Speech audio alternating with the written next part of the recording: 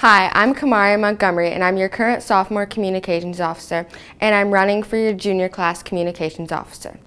I'm involved in many things throughout the school such as cross country, track, dance, Key Club, World Language Club, and of course Student Council. Throughout these things, I've gained not only the leadership skills needed but also the responsibility needed to be communications officer. If I'm reelected, I will make our junior year the best. Please vote Kamaria Montgomery for Junior Class Communications Officer.